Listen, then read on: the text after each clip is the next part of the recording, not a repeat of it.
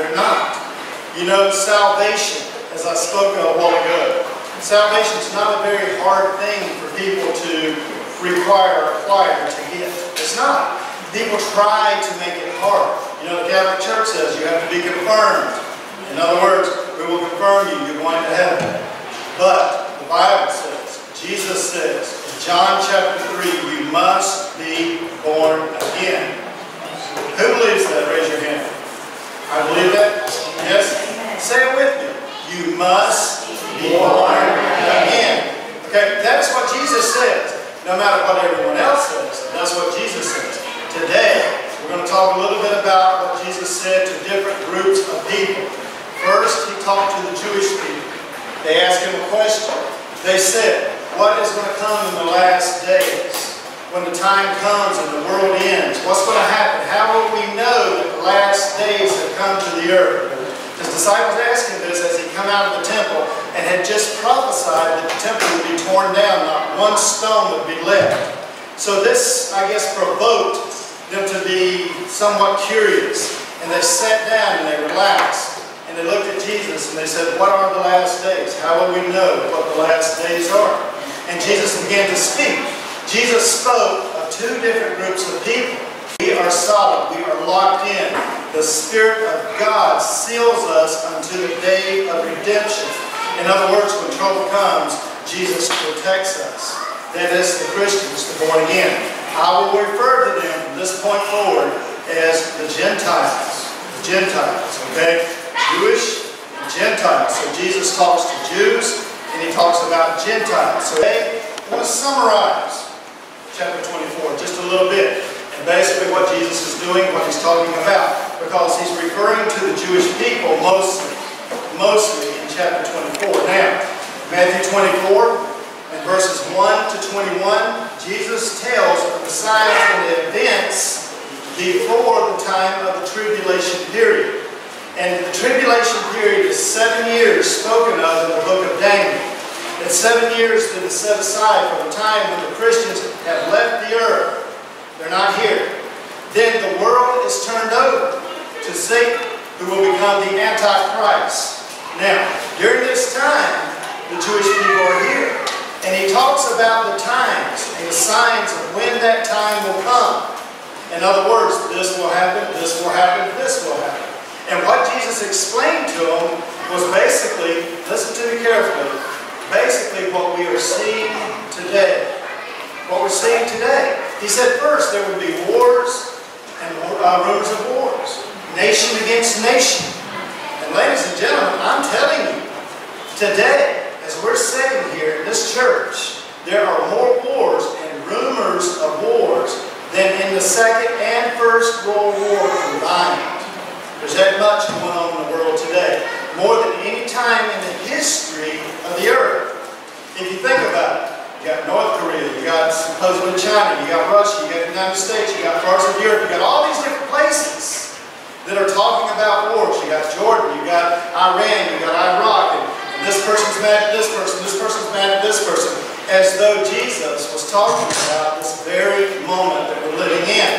So, in these verses 1 to 21, he's talking about these signs, these things that we are seeing today. That tells me that perhaps we're pretty close to the time when Jesus will come in the air and call his own unto him. We will see that time develop. We will see that time come as we're sitting here even today. Perhaps most people in this room perhaps will see that day and time. But going back to uh, Matthew chapter 24, verses 22 to 29, Jesus tells how the Jews will begin to seek their Messiah. In other words, they're now in turmoil. There's things going on things that are havoc in their life. And they're saying, we must have a Messiah, someone to come to save us and rescue us from this havoc in our lives. Things have got bad, they're worse than we ever thought they could be. Where is the Messiah? Where is Jesus? And then they will begin to talk. Different places. Maybe he's in the desert.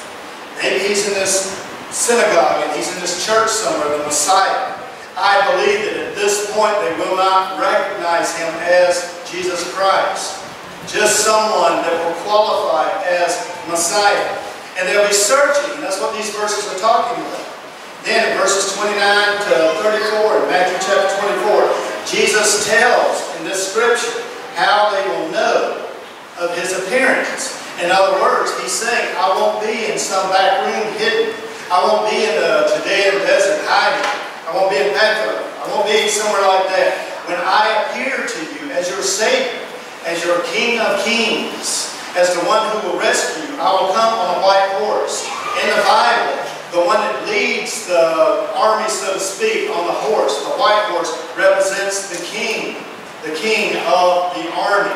He said, I will appear in the sky, I will come to the earth during the time of the tribulation, at the end of it. I will come on this white horse and I will have the saints from heaven that have been raptured, the saints that are living in heaven. I will have them with me. We will fight this battle.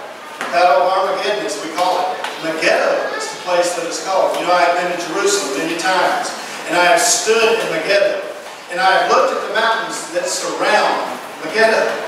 And it is a perfect place for the greatest war to ever have been fought on this earth. And you know what's interesting, guys?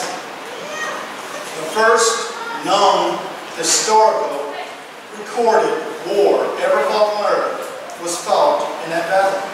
And that will be the last place any war will be fought.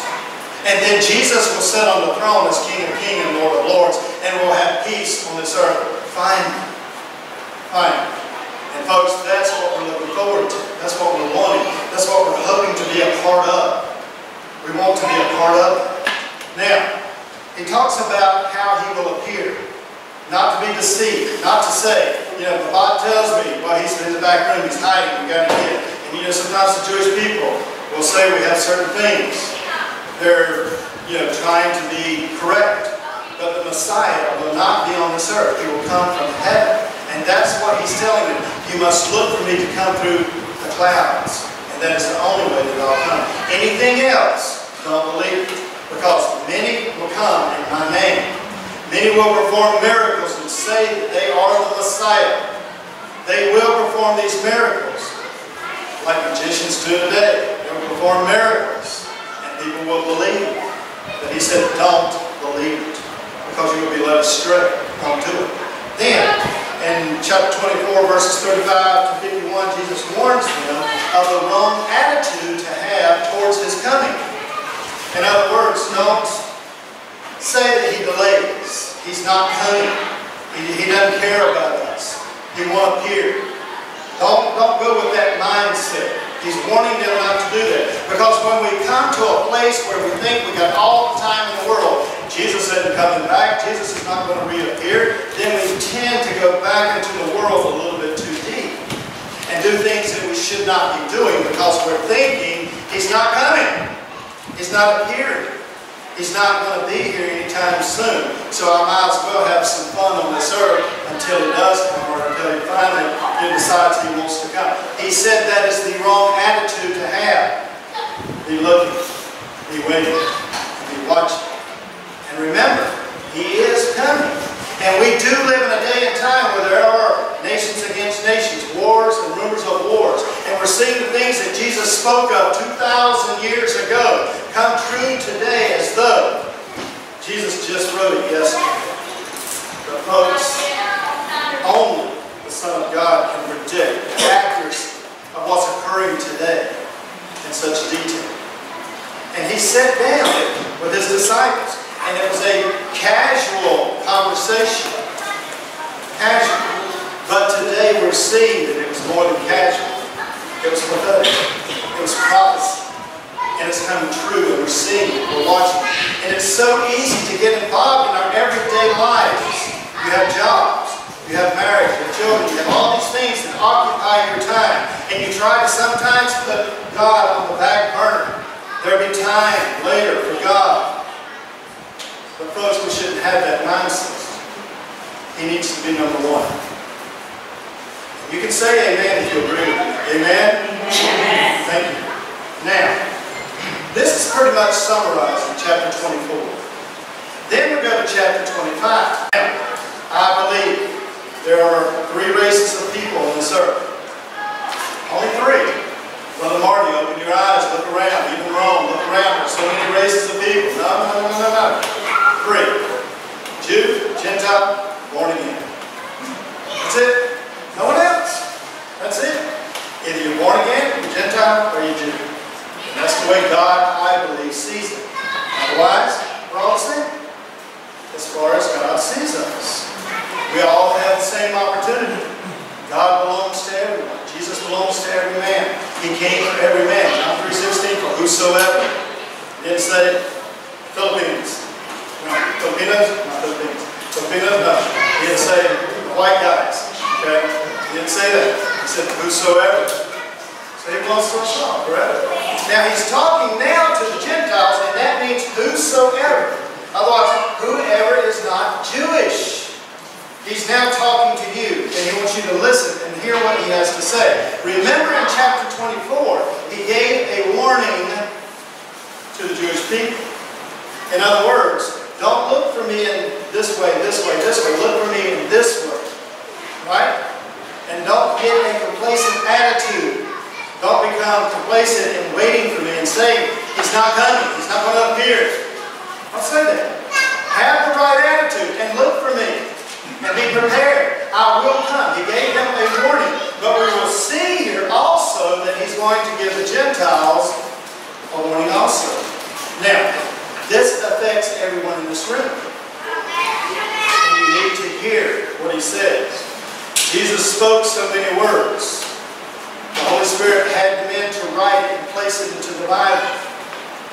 And that's all we have in this day and time. This is it. What's in this Bible is what we have.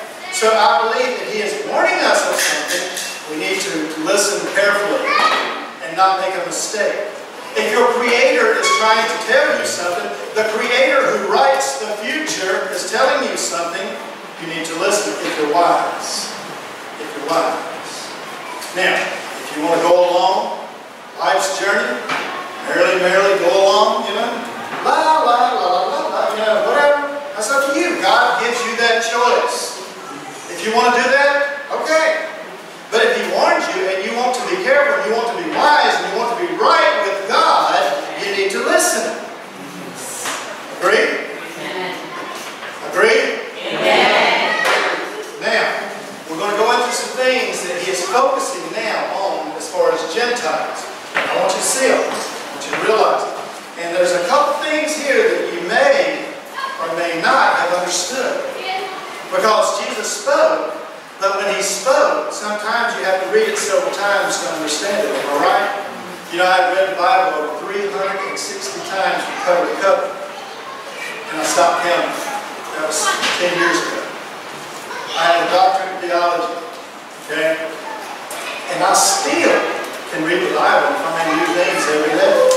Every single day. It's not like Shakespeare. It's not like any other books. I'm not going to read Aristotle. I read a lot of things, but I read the Bible and something, boom, pops out. I say, well, wow, I've read that, but now I get it. So today, let's get it. Let's see what he's saying. Amen? Amen. Amen. Jesus is talking to the Gentiles, basically what's going to happen.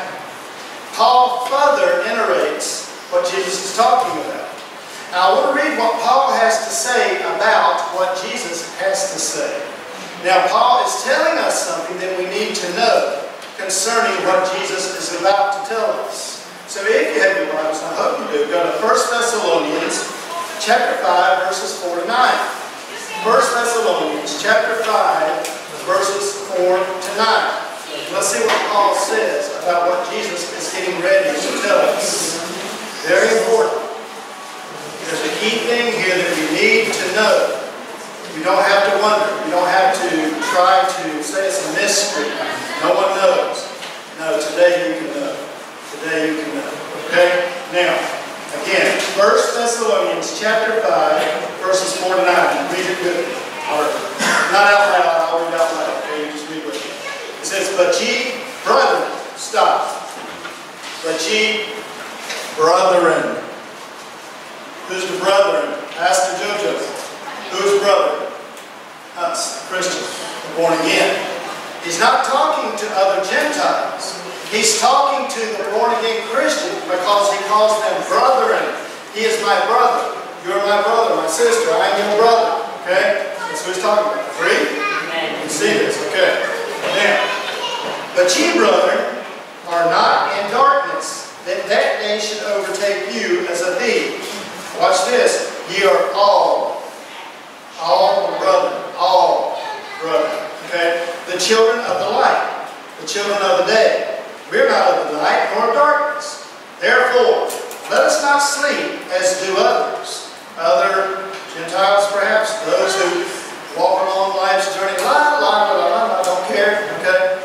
Don't let us sleep as others, is what he's saying. And we need to realize this. But let us watch and be sober. And when he says sober, he's not talking about a person that had too much, uh, what do you say, uh, vino, wine, okay? Uh, also vino. He ain't talking about that. He's talking about spiritually sober. Spiritually sober. Are you spiritually sober today? In other words, are you focused on your immortality? Are you focused on the Creator? Are you focused on what is next? You know, a Roman, Pontius Pilate, once asked Jesus, what is true? Remember judgment? Jesus said, I come the truth. He looked at Jesus and he, I don't think he was being sarcastic and I don't think he was being arrogant. I think he really, truly wanted to know the answer to the question, what is truth? What is truth? Where do we come from? Where are we going? What's outside of here? Is this just what life is? Was there spinning gases that collided, boom, big bang, all of a sudden man evolved, and this is it? There's nothing else. When we die, we're dead, we're gone, there's no more. That's basically what Pilate was asking Jesus. What is true? Remember, there was a polytheistic religion, many gods, different ones that they worshipped. And he said, look, this God, this God, this God, what is true? I don't even know anymore. I look around, I see nature, I see things that appear to be created with a great imagination behind it, great design behind it, and all that conflicts with what I have known of religions. It doesn't make sense. What is truth? A question that is spiritually sobering, is it not? Sobering. You have moments, you have times it's quiet. No matter your age, no matter your gender or race, you have moments what is truth. And everybody wants to know. Now, I don't know. The Bible doesn't tell us what Jesus said to Pilate as far as an answer. But this we do know. Right after the crucifixion and the resurrection of Jesus Christ, Pilate, shortly after that, resigned and went back to Rome and lived out his life quietly, as though something in his life had changed. Perhaps, maybe, Jesus brought him to understanding. I don't know. Maybe, perhaps, Pilate could even be in heaven. We don't know. Because the Bible does not record, it does not say what Jesus said to Pilate when Pilate asked this question. But we know now. We know now what we need to know as Gentiles. We're not in darkness. We're not blinded. Because the Bible tells us. Paul is relating this to us. Paul is bringing us back to that understanding that this Bible teaches us. It shows us truth. Truth. And what truth is. Let's read on. Starting in verse 6 again. Therefore, let us not sleep as do others, but let us be sober. For they that sleep, sleep in the night, and they that be drunken are drunken in the night. But let us who are of the day be sober, putting on the breastplate of faith and love, and for a helmet, the hope of salvation. Important, listen to this one, verse 9. Most important verse, one of the most important verses in the Bible. Verse 9, listen. For God hath not appointed us to wrath, but to obtain salvation by our Lord Jesus Christ. Now, I want to ask you a question. Does it say, for God may not? Does it say God might not? No. It says, for God hath not appointed us to wrath. In other words, those who are born again, brethren, you're not appointed to the tribulation or wrath of God. Amen? Amen? You should be excited. The Bible says you're okay. Things are all right with you. God will have His moment, His time, when He will come back to this earth and He will finally bring peace to the earth. Folks, I want to tell you for sure, President of Italy, uh, France, Theresa May, Donald Trump, they don't have the answer to peace. They don't. They have agendas. And these agendas conflict with other agendas. You have the conservatives, you have the liberals, you have different ones you have different opinions. And opinions is what causes the chaos. Even, you know, religion causes wars, problems. Because this religion differs from this religion, this religion is different. Even in Islam, you have different types of Islam. That's not the answer. That's not the answer. The answer is one that will come back take care of every person on this earth in a fair, equal, loving, merciful, giving way. Christ came to die and pay for your sins. That means it will not be held against you. That was his purpose. And when he comes back and we see the compassion and the sincerity minus the agendas in this leader, we can call him that. I think even the dumb people hard-headed and say, hey, that's the best thing going. I know that. Oh, there'll be a struggle. There's always a struggle with evil good. But eventually, they'll see he's right. Right. Now, Paul tells us this basically to prepare us for what Jesus had told us in the Gospels. Paul wrote this letter to further explain what Jesus had told us in the Gospels. Again, Matthew chapter 25, Jesus talks on the nature of warning. Warning. In other words, I say, Pastor Jojo, don't walk out on that street. Okay, there's a truck coming. That's a warning. Jesus is giving a warning to the Gentiles, just as he gave to the Jews. You see this? Now, what is the warning about? The warning is about your salvation. What am I saying? I am saying what Jesus is saying. There are some who can fool you about your salvation. That's what he said. He's saying, be careful.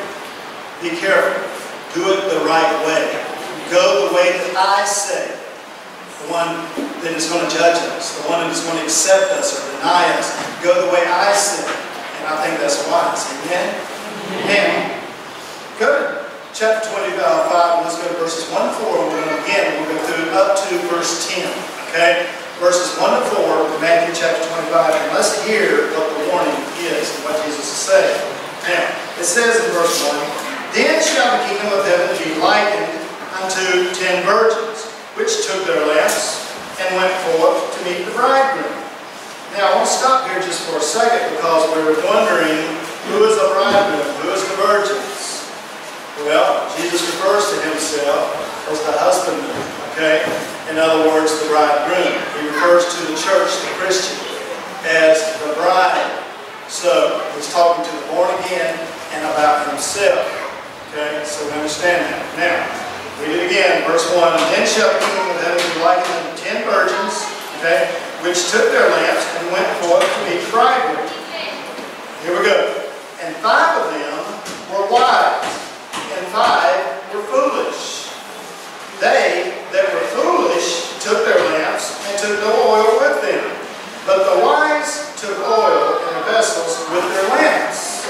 Now, the obvious question is, what does the oil in the lamps represent? The lamp represents a vessel, something that you put something into. The oil represents an anointment. Anointment. Okay, they anoint you with oil. Okay, which means something that is made consecrated, holy, and righteous. Now, what Jesus is saying here is those that have the Holy Spirit dwell within them, that's the oil, the Holy Spirit, okay? They are the ones that are wise.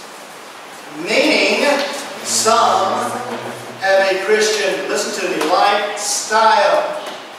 Not a Christian's life who has changed. There's a difference. I live a lifestyle. You live a lifestyle. Everybody lives a lifestyle. Mussolini lived a lifestyle. Hitler lived a lifestyle. Trump lives a lifestyle. Elvis Presley lives a lifestyle, right? You can live a Christian lifestyle and still not be born-again Christian.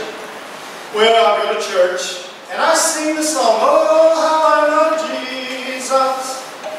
You can put your money in the offering plate. And you can go out and tell somebody, hey, you need to be saved. You need to be born again. You need Jesus in your life. Oh, I'm living a Christian lifestyle. This morning. My marriage is good. Everything's good. The morals in my life are right. I'm healthy. Everything's good. But you still can go into hell. According to what Jesus is saying. According to what Christ is telling us. How does this happen?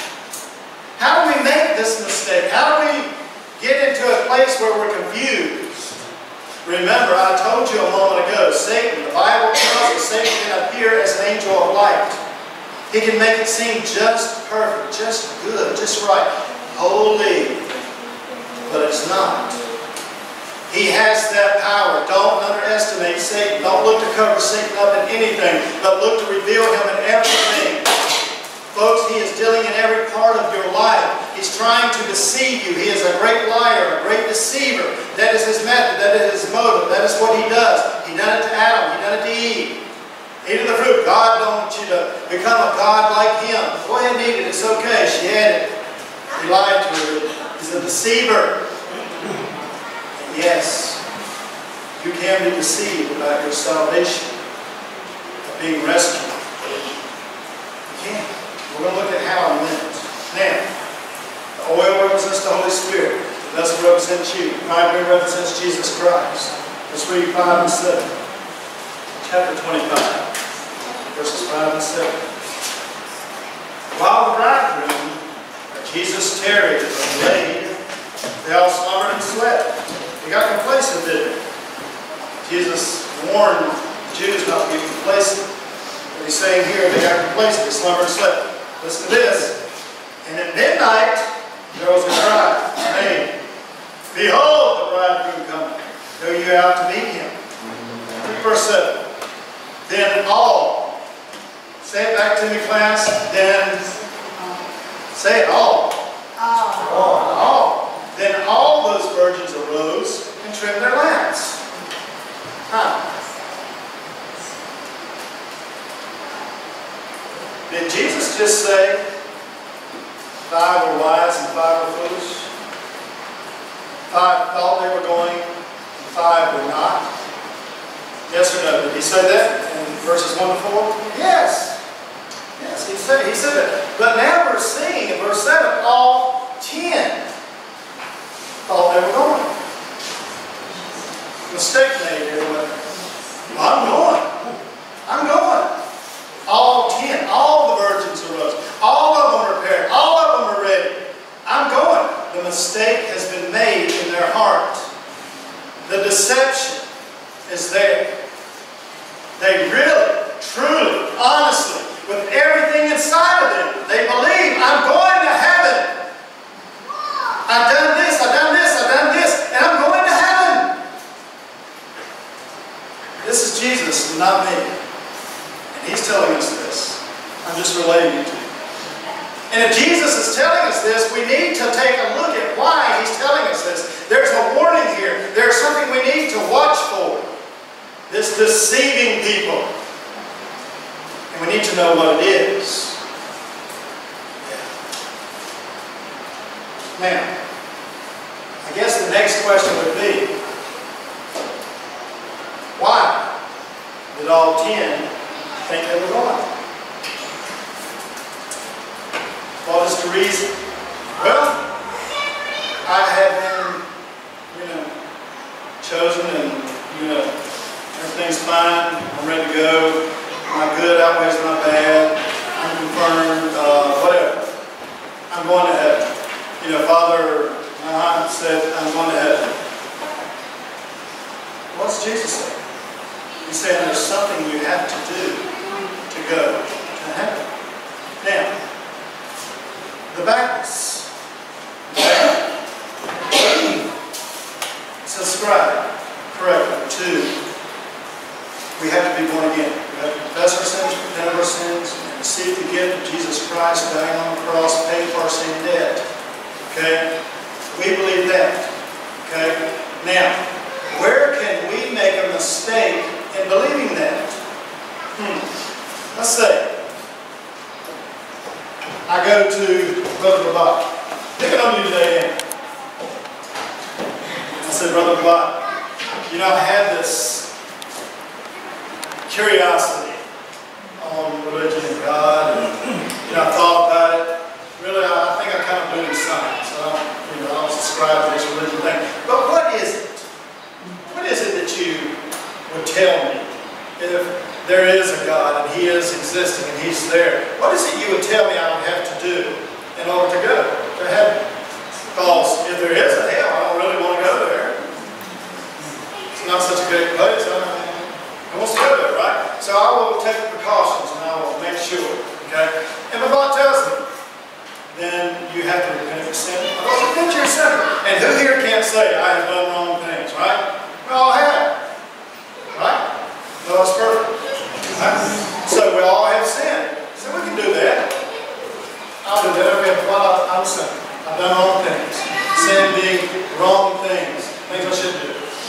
The boss says, good, good. Now, confess it to God. God, I've done wrong things. Now, receive the gift of Christ, paying for your sin. God's holy. He's righteous. He does not accept a sinful nature, a sinful person. He wants you transformed in your heart, in your mind. Oh, I'll sin again probably somewhere along the way. Okay? But Christ has taken care of my sin, correct? Okay, I'll do that. I'll do that. Now, when I confess my sin, I thought about something when he said. Confess my sin. You know, but I do like to uh, smoke a little pot. That's not really a sin. I mean, it's not a big deal. But I'll go ahead and pray. I'll say the prayer. but I'm not I'm gonna get that. That's not really a sin after. Did I get saved? Or did I try to fool God? Did I try to mock God's procedure of salvation? Now, I cannot remember every single sin I've ever committed in my life. You can, I can, because we have sinned so much. But we can confess our sins without purposely holding back a sin. And give it to God. Say, God, this is a problem that I have. Some say, I like looking at men, I like looking at women, I like, you know, drinking, whatever. Problem I have. And you give it to God. You confess all your sins without purposely holding back something. In other words, I was born into a sinful nature. When Adam and Eve committed the first sin, from that point on, the genealogies of Adam and Eve, sinful nature in every person. So I confess my sins without purposely holding something back from you, God. He knows the difference. Amen. He knows the difference. The heart, He knows it. He knows what you meant. Well, Grandma told me if I pray this prayer, I'm going to heaven. You know, Pastor Jojo said, pray this and I'm going to heaven. Pastor Marty said, pray this, you're going to heaven. Now, I believe I'm going to heaven. La, la, la. Live the Christian lifestyle. Remember the lifestyle? But, never really confessed and repented of the sin or my sins. Jesus is saying, be careful about that. Don't play that game with God. It's better that you don't do it in opposed to trying to fool God and try to. God knows the difference and He will not accept a lie. He won't do it. He knows. If you do not believe God is that big and that's omnipotent and that, and that powerful and all-knowing, if you do not believe that, then you don't even need to pray. Amen? Amen. He is. He knows. Then, the Holy Spirit dwells within us. That's when it's consummated. That's when it becomes real and genuine. When we know we're saved. That's when I go back to the places I used to go that I shouldn't go. And I say, I don't like this anymore. Something's different. I don't like talking like that anymore. It's not the same. Something inside of me is naturally changing me. It's not me trying to go through the robotics or the, you know, ways of doing things. You know, going to the church, you know. Something natural has happened. I'm different now. Okay? Now I love people. I care about people. I don't want to hurt people. It's real. And it's natural. It's not something that you have to try and do. It's just something you have to be obedient to doing. There's a difference. It's natural before you're born again to be sinful. There's pleasure in sin. You have to admit that. But there's pleasure in serving God when you become born again. What did Jesus tell Nicodemus in John chapter 3? He said, That which is born of the flesh is of the flesh. That which is born of the uh, spirit is of the spirit. In other words, there is something new in me, a new spirit in me. I'm different now. Trust in me, believe in me. And think about this, guys. There was Nicodemus. He was part of the Sanhedrin, the Pharisees. He was a religious leader. But he came to Jesus by night, in the dark, and said, Master, no one can do the things that you're doing. And fulfill scriptures like Isaiah and different books. No one can do these things except they be of God. What must I do to inherit the kingdom of heaven? And that's when Jesus told him, that which is born of the flesh is of the flesh, that which is born of the spirit is of the spirit. You see, Nicodemus wasn't looking for a Messiah that would come and rescue him from the worldly things that happen to the Jewish people who are highly, highly persecuted for no reason. They're discriminated against for no reason. And it's true. But he was saying to Nicodemus, who was a Jew, look, you don't have to go and worry about the things of the world. Come to me spiritually and receive me. I want to rescue you. I want to be your Messiah, your Savior from your sin. There's the difference. Has Christ been the rescuer of your sins? Now, verses 8 and 9, let's read it quickly. I know it's loud here, so I'm hurry. Verses 8 and 9 says, And the foolish said unto the wise, Give us of pure oil, for our lamps are gone out. But the wise answered, saying, Ah, not so. These there be not enough for us and you. I want you to be real careful in what you see here. It says, and again, okay, it says, not so, not enough for us and you, but go ye rather to them that sell and buy for yourselves. Talking about salvation, right? Go to them. Who is them? Is it the Pope? Is it the Catholic priest? Is it Muhammad? And, you know, them. Who is them? Now, Jesus is talking about becoming a Christian, born again, go to them, being plural, not singular, more than one. Who is he talking about? To the church, where everybody says, you know, come to the altar and pray, and we'll put our hands on you, and well, that's not how you get salvation, because you can go back, remember? Them, or the Trinity, Father, Son, Holy Spirit. That comes through that method. You know, Islam believes that we believe in more than one God. Polytheistic is what we call us. We don't. We believe in one God in three parts. Father, Son, Holy Spirit. That was needed for our salvation.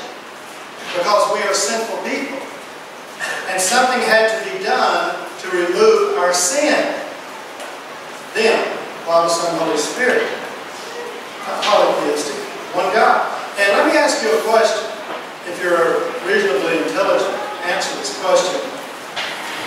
What, why, let me put it this way, why could God not do anything He wanted in order to rescue us from our sins?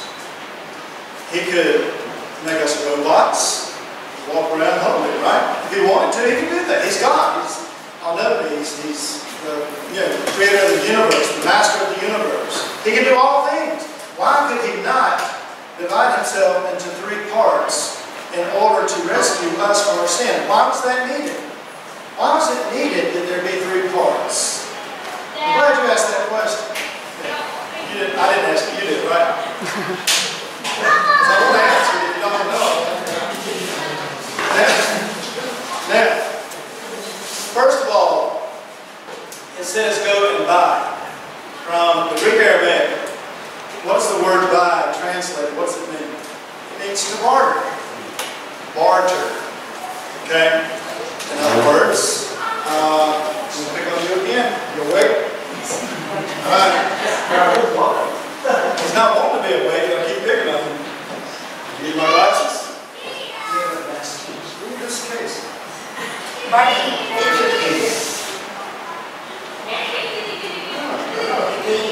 All this. We bartered. We bartered. Okay. I was going to ask him for his Bible, but I can't read it without my glasses. Okay? Exchange. Swap. Exchange.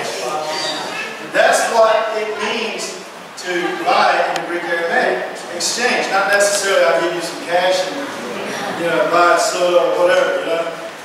We exchange something. You give me this, I give you that. This for that. Okay? So, if he's saying go get this for that from them, then obviously he's talking about something from each part of the Trinity. Yeah. But what is it the Trinity does for our salvation? The Father, God, the Father. He offers you His love. You believe God is love? I do. I believe He loves us. Because God could have created us and destroyed us and done what He wanted to do, used us as puppets, done whatever He wanted. But God chose to love us. Look at the earth. You have trees, you have beautiful flowers, you have food, you have water, you have beautiful ocean scenery. I mean, God done this for us. Created all this for us because He loves us. Adam was alone. He gave him a wife. And because He loves Adam, He don't want him to be alone. His love in nature itself all the time. And God said, I want to give you my love. But you can't have it unless you say, I'll take it. I've already exchanged. Give me your love, and I'll take it. That's the Father. Then, the Holy Spirit. The Holy Spirit, to every man, tells us in our hearts, in our minds, quiet, loud, quiet. There is a void, a gulf span between you and God.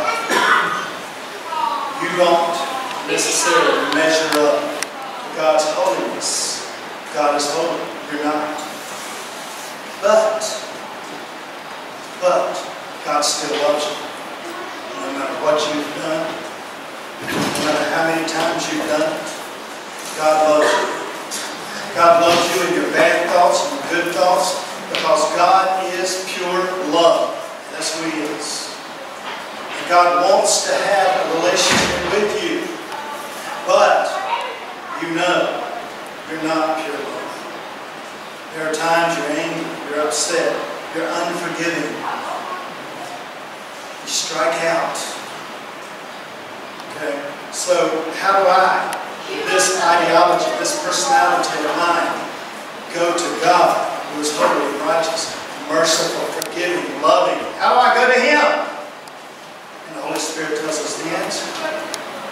In other words, it leads me in a direction.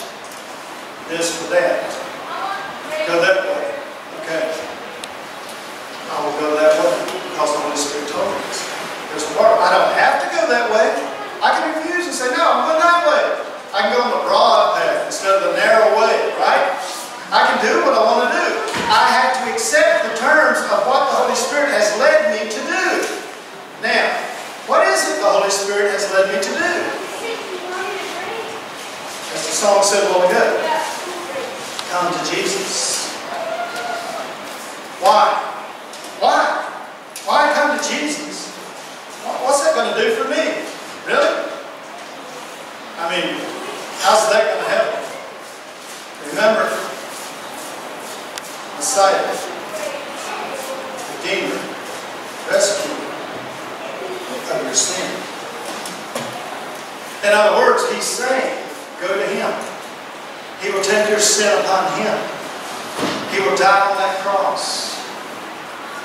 But he will rise again in that day. He will take your sin's debt and give it its penalty, which is death. Sin's debt is death. And he will pay that debt. But he'll rise again victorious over that sin debt to represent you before God the Father, bringing you to him. The Holy Spirit's watching us to do this. The little man, okay, it is to do this, to bring us to God. You know, I've been to Israel many times, been to Jerusalem, been in the tomb, and I looked many times. He ain't there. Because Muhammad's grave, is there. Buddha, his grave, is there. His remains. Now, this was a controversial subject for a long time. So science went over and done some studies in the tomb. They actually took part of the layers of the stone that he laid on to see if a body had decayed on that stone. Had been in that grave long enough to have decayed. Now, they know for sure that cave or that stone or that tomb was occupied. They know that historically. Okay? Now, they also know that no body decayed there. Something happened to the body that was placed and sealed into that tomb. Now, some say, well, the, you know, the uh, uh, disciples came and stole the body by night. Let me ask you a question. Do you know anything about Roman soldiers? You know what the penalty of losing a prisoner is for Roman soldiers back in the day? Death. You don't lose a prisoner. The body was considered a prisoner because it had a seal on it. Okay, which meant you do not open that for any reason. If it opens, those soldiers die. Now, you had three to four soldiers outside the tomb. How can a massive group of people that would have to be a massive group of people with enough strength and power and muscle to move over a 2,000 pound stone be able to move it without these Roman soldiers knowing it? They fell asleep. Oh, all four fell asleep, all four stayed asleep, and all four didn't wake up while you moved this great big stone, a big group of men, whoa, moving that big stone, trying to probably dropped it a couple times, boom, like.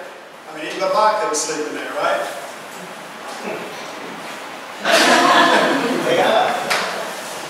So it is impossible to think that that is feasible. Okay? I can't think that way. I have to say, somebody would have heard something. I mean, there's too many nosy people anyway, right? What, I, what are you doing over there? You know, they killed them. But the body's gone. Where is it? You show me the bones of Jesus Christ, and I will give it up. You can't do it. You got myths, legends, stories to excuse your spiritual soberness. Amen? The body's not there. It's gone. It's risen. That tells us, yes, He is the way, the life. And Jesus is telling us this. We need to believe this. We need to know this. So we don't make a mistake about Jesus Christ. It's not religion. It's not works. You know, I can work all day long. I said, my money to the church and sing the songs and go out and do things. But you know, where in the Bible does it say that's how you go to heaven? It does, show me. I've read it over 360 times. I've studied it, a doctor's degree. It's not in. Nowhere. In fact, the Bible says not of works. And certainly not of religion, remember Nicodemus? But what about the woman at the well? Remember her? The woman at the well was one that was Samaritan. The Jews and the Samaritans, they didn't like each other. They said that the Samaritans were half Jew, pretend Jews. They didn't want to be you know, necessarily part of what the Samaritans was. Their opinion, worse than the other Samaritans because she was, uh, is her children too small? The Bible tells us this. She was a whore. She liked men. She had many wives, husbands, and she didn't like to be around the wives. Okay? So at 12 o'clock, she was going to the well, Jacob's well. She was going a separate path from where the other women would come. They would go about 7 a.m. She was going about 12 p.m. to make sure she didn't run into one of the women. You're not interested. You know, she would probably beat her up. That's my husband you was with. You know, so she didn't want she didn't want a confrontation. She went the other way. Now, her biggest fear happened when she come around the corner. The bushes was cleared. She saw the well. She saw a man sitting there who was a Jew and probably a rabbi. Oh Lord, I really want this water this bad. I've got to have it. I got to go to that well, no matter what. Now she wasn't necessarily going to speak, but Jesus began a conversation. But what was it that she tried to talk about? Religion. You know, this is um, Jacob's well. And we worship like the Jews. We, we do it. And what did Jesus do every single time she would go to that conversation? He would get her off of it. He'd say, I am the water that you need. Drink of this water, you'll never thirst again. In other words, you can try every religion, you can try every, you know, science, uh, you know, ideologies, you can try all these things, and you will still be thirsty, you'll still be searching, you'll still be wanting. But if you try Jesus Christ, you receive Him, I promise you, your search is over. You're satisfied inside. That's what He was telling her. It's kind of like a sweet peach. The bottom, you know, peaches are like peaches? Sweet peach, okay? I bite into that sweet peach. Mmm, man. Best out there. Juice keeps running down the sides of my mouth. Sweet like sugar in my mouth. I move around with it like that. It tastes real good. Mm. Me another bite, but what? Mmm. Mm. Now the bite. This is a good peach in. The boss, I don't know. And had a bite. Give him a bite. Then he knows. Then he knows. Until then, you don't know. So that is Christ. And that is what he was telling the woman at the well, who wanted to argue religion and works and things of, of how to get to heaven. And he said, no, no, no, no, no. You misunderstand. And you go back into the Old Testament. Even the first five books of the Torah, you go back and you research. Everything points towards a Messiah. A Messiah that will save you from sin. That is God's biggest concern. Why is that God's biggest concern? Because you are eternal. You are immortal. Did you know your soul never ages? You never age in your soul? God cares about eternal. The things of the world happen. Things happen, right? Good days, bad days, sad days, happy days, whatever. But eternal is what is important. Now, religion? No, it's not the way. And Jesus warns us, warns us that He is the only way. He told the woman, go try this water. This water, me. Try me. You'll never thirst again, you'll never search again. What happened? This town boy, okay, suddenly became refreshed. In other words, she went back to Samaritan. She talked to the men, she talked to others. Everybody listened to her. She was a popular, a changed person, a different image of her. She was remade, she was reborn. Now she was accepted, she was loved, she was liked. Just a conversation and an acceptance of Jesus Christ made the difference in her life. No one judged her anymore. She was a new creation in God. Isn't that wonderful? Now, Jesus warns that He is the only one who can do this. And folks, we have to say, so far, if you don't believe in Christ, nothing else has proven to be true to us. Being a Buddhist or oh, you know, it's not going to change. This changes. Now, many depend on religion, but religion, folks, I'm telling you, I mean this in a way that you, I hope you understand. Religion is a bad thing, not a good thing. Understand what I'm saying? Yes. Okay? Now, Jesus warned the Jews, he also warned the Gentiles. We're all his. We're all his. You're my brother, you're my sister, you're your brother. Okay? Everyone's included not one special group. All of us are included. He warns that He is the way, the truth, and the life. No man, any religion, any ideology, any education, no man comes to Him except the Father, except in Jesus Christ. No matter who you are. Now, verse 10, to me, one of the most disturbing verses in the Bible for the Gentiles. Gentiles. Ten virgins, five were wise, five were foolish, five thought they were going, they weren't going, five were ready, five were not. Verse 10 sums it up. We're about done. Look at verse 10, chapter 25, verse 10. It says, And while they went to buy, remember, go to them that sell. It says, while they went to buy, the bridegroom, Jesus came.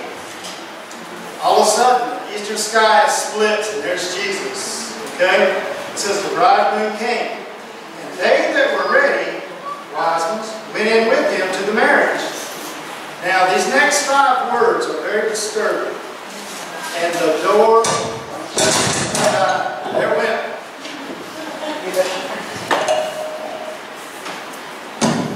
Oh. And the door was shut. That big hand's not. Don't act right. There it is.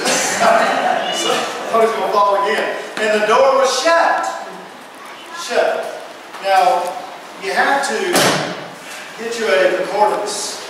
Um, and a lot of books and probably a real you know, important theological degree to understand what the door was shut means.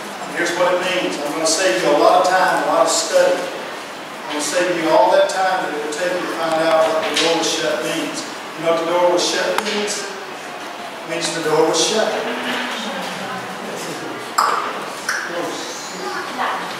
No one else didn't. The five that were ready, they went. The five that were not, playing with light, playing with their spiritual life, go.